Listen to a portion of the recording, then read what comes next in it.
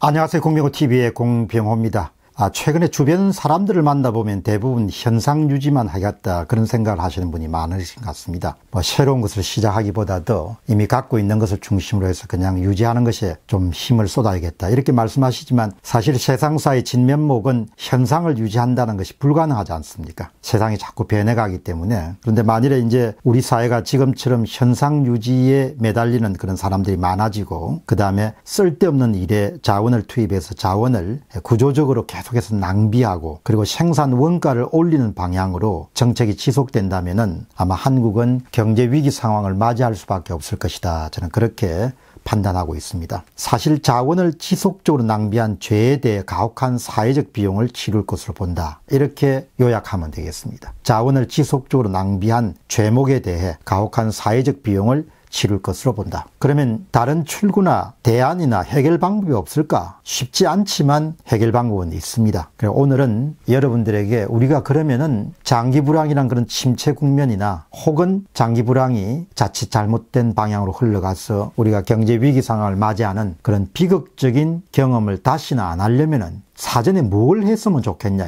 그 점을 여러분과 함께 공유하도록 그렇게 하겠습니다. 문제가 복잡할수록 문제를 단순화하고 그 단순화된 문제에 갖고 있는 에너지와 열정과 시간과 재원을 집중적으로 투입하면 문제 해결이 가능하다는 이야기. 많은 것을 잘하려고 그렇게 에너지를 분산할 필요가 없다는 이야기입니다. 쉽게 이야기하면 경제 위기를 피하기 위해 한국과 한국인들이 뭘 해야 되느냐야. 가장 시급하게 어떤 것을 해야 어려움을 만나지 않을 수 있겠느냐. 이런 문제는 참 중요하지 않습니까? 다시 어려움을 겪어서는 안 되기 때문에. 그러면은 크게 두 가지입니다. 방어적 방법이 있고 그 다음에 공세적 방법이 있습니다. 두 가지를 나누어서 질문 1, 2로 여러분에게 설명드리도록 하겠습니다. 우선 질문 첫 번째입니다. 경제 위기 극복의 방어적인 방법은 무엇인가? 한국은 현재 고비용 구조를 개혁하지 못하면 경제 위기를 피할 수 없다. 그게 제가 갖고 있는 생각입니다. 여기서 아주 핵심적인 다, 문장, 저 단어는 고비용 구조입니다. 고비용 구조를 탈피하지 못하면 왜 그런가? 고비용 구조가 생산 원가를 상승시키고 생산 원가 기업의 해외 이전을 촉진하고 그리고 국내 투자를 감소시키게 됩니다. 그 결과로 수출 감소와 일자리 증발 현상이 동시에 일어나고 그 다음에 소득이 감소하고 그 다음에 예, 생활 수준이 하락하는 이런 종류의 과정을 밟아 나갈 것이다. 그렇게 봅니다. 그러니까 중간 과정을 딱 생략하면 고비용 구조가 여러 가지 채널을 거쳐가지고 마지막에는 소득 감소와 생활 수준 하락으로 끝나는 겁니다. 그런 과정을 밟지 않으려면 뭘 해야 되겠냐.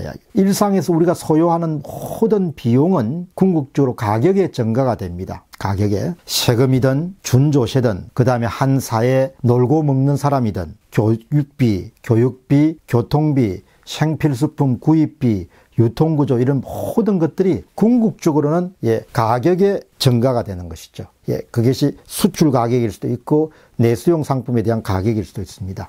그래서 정말 한국이 수출에 의존해 사는 나라이기 때문에 수출에서 품질 경쟁력, 기술 경쟁력, 그리고 그보다 훨씬 더 중요한 가격 경쟁력을 유지해 나가려면은 그런 재반 비용을 낮추어가는 노력. 그럼 재반 비용을 낮추어간다는 것은 낭비를 줄일 수 있는가? 그리고 쓸데없는 것을 최대한 줄일 수 있는가? 효율을 높일 수 있는가? 생산성을 높일 수 있는가? 이런 질문들이 있지 않습니까? 그런데 불행하게도 문재인 정부가 들어와서 한 일의 대부분은 일자리 만들기를 명분을 걸고 쓸데없는 일을 많이 했다는 거죠. 자원을 낭비하는 일을. 양질의 일자리란 것은 결과물로 나오는 것이지 그 자체를 추구할 수 있는 것은 아닙니다. 세금을 들여가지고 우리가 양질의 일자리를 몇 개 만들겠다. 그건 다 거짓말인 거죠. 그래서 결과적으로 문재인 정부는 그동안 축적되어 온, 누적되어 온 한국의 고비용 구조를 훨씬 더 빠른 시간 안에 악화시키는데 결정적인 기여를 한 정부다. 이렇게 보시면 좋겠습니다. 이미 한국의 글로벌 금융위기 2008년 이후에 2010년대 들어와 가지고 한국의 고비용 구조가 훨씬 더 이 정폭돼 나갈 때 그런 상태를 거쳐 오는 동안에 문재인 정부는 거기에다가 더 큰, 더 크고 더 심, 심하고 더 깊은 고비용 구조를 고착화시키는데 정책으로서 혁혁한 공헌을 했다. 이렇게 보시면 좋겠습니다. 그럼 구조개혁이란 것은 결국 뭐냐 이야기죠. 쓸데없는 일을 그것을 제거하는 작업이죠. 피를 흘리더라도 잘라내는 거죠. 그래야 고비용 구조를 개혁할 수가 있으니까 그걸 대한민국 사람들이 할 수 있겠냐 이야기. 가장 여러분 사례는 홍준표 위원이 함께 경남도청을 맡을 때 정무 부시장을 지냈던 조진래 위원의 사건에 대해서 페이스북에 올린 그런 자신의 그런 한탄이 섞인 그런 글을 보면은 이런 문장이 나옵니다. 심지어 대법원에서 세 번이나 승소한 진주의료원 폐업 과정까지 조사하려고 한다. 당시에 여러분들 진주의료원은 매년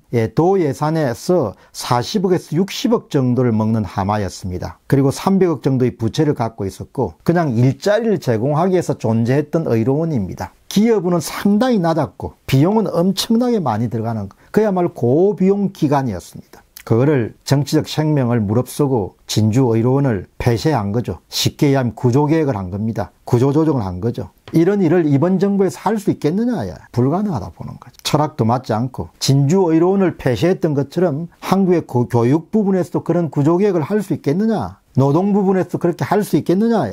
할 수 있으면 한국은 살 겁니다. 그런 면에서 홍준표 위원이 몇 해 전에 실시했던 진주의료원 구조개혁 사례는 한국 역사상 보기 드문 정도의 아주 과격한 그런 제대로 된 구조개혁이었죠. 그러나 좌파 진영에서는 다 다른 시각을 갖고 있지 않습니까? 이번도 조사한다는 것이 그런 시각을 갖고 있기 때문에 가능한 거죠. 이번 정부에서 그게 가능하겠느냐? 쉽지 않다는 이야기. 강건한 철학이 있어도 구조개혁에 대한 올바른 철학이 있어도 쉽지 않은데 그런 철학을 갖지 않는 그런 정치 세력이 어떻게 구조개혁을 단행하겠냐 이야기. 그러니까 고비용 구조가 계속 누적이 된 거가 정책으로 가서 더 고비용 구조를 심화시키고 그 상태로 가면 제가 굳이 말씀을 안 드리더라도 그 다음 결과가 뭔지는 아마 여러분들이 이해를 하실 겁니다. 질문 두 번째입니다. 경제위기 극복의 공세적인 방법이란 것은 타다의 이재용 대표하고 금융감독위원회 최종구 위원장 사이에 오고 간 설전 내용 가운데 서비스 승합장 공유 서비스와 관련된 설전이 있었지 않습니까? 그 설전에서 최종구 위원장이 아주 멋진 이야기를 한 말씀 하십니다. 혁신 사업자들도 사회적 연대를 중시해야 된다. 사회적 연대 이 단어가 한 인물이 갖고 있는 사유체계, 경제관,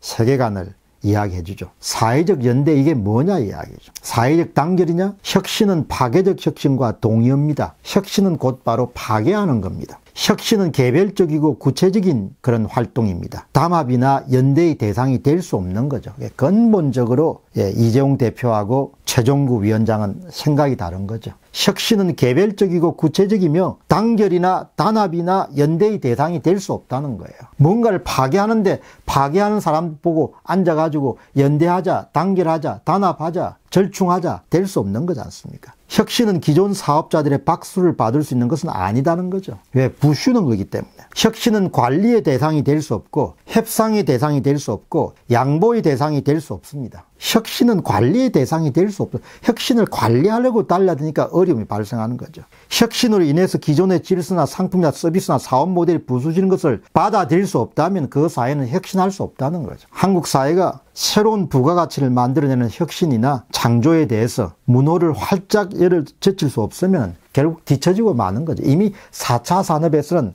제조업 중심의 사회에서는 한국이 상당히 민첩하게 기회를 포착해서 앞서 나갔습니다. 그래서 전자 사업도 일으키고 반도체 사업도 일으킬 수 있었던 거죠. 그러나 4차 산업혁명은 한국은 변방입니다. 변방. 이미 아주 인공지능이나 빅데이터나 여러 가지 분야에서 뒤처지고 말았습니다. 쉽게 이야기하면 혁신을 사회적 연대의 대상으로 생각하게 되면 한국에서는 어, 새로운 사업 모델이라든지 이런 부분이 등장할 가능성이 거의 없는 거죠. 그러면 쉽게 이야기해서 공세적 방법으로 밀어보면은 혁신을 사회적 연대의 대상이나 타협의 대상이나 협의의 대상이나 협상의 대상으로 삼는 순간 그것은 혁신이 불가능하기 때문에 한국은 공세적인 측면에서도 경제 위기를 맞을 가능성이 높다는 겁니다. 여러분 오늘 딱 두 가지 말씀드렸습니다. 한국이 경제 위기를 극복하려면 첫 번째 제대로 된 구조 개혁을 실시할 수 있겠느냐? 두 번째 사회적 연대 같은 이야기 쓰지 말고 혁신을 파괴적 혁신을 한국 사회가 기꺼이 수용할 수 있겠느냐? 두 가지를 수용할 수 있으면은 승리하는 쪽에 설 수 있을 겁니다. 두 가지를 절대로 못, 못 받아들이겠다. 그러면 패배하는 쪽에 설 수밖에 없겠죠. 세상은 우리 아버지 어머니가 아니니까 그냥 세상은 성자와 패자를 딱 나눠주는 거죠. 그래서 경제 위기를 피할 수 있는 방 있는 방법이 없는 건 아니다 이야기. 그러나 현재 한국 사회가 하는 것을 보면은 한국 사회가 혁신을 사회적 연대의 대상으로 생각하거나 아니면은 구조개혁이나 이런 부분들을 고비용 구조를 탈피하기 위한 그런 구조개혁을 립서비스 말로만 떠들거나 그럼 절대 해결책을 찾을 수 없다는 것. 방법은 있지만 만만치 않다. 그 점을 말씀드리고 싶습니다. 공병호 TV의 공병호였습니다. 감사합니다.